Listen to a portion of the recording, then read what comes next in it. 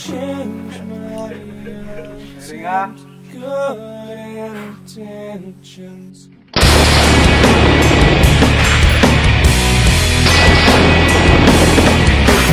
Crouched over, you were not there, living in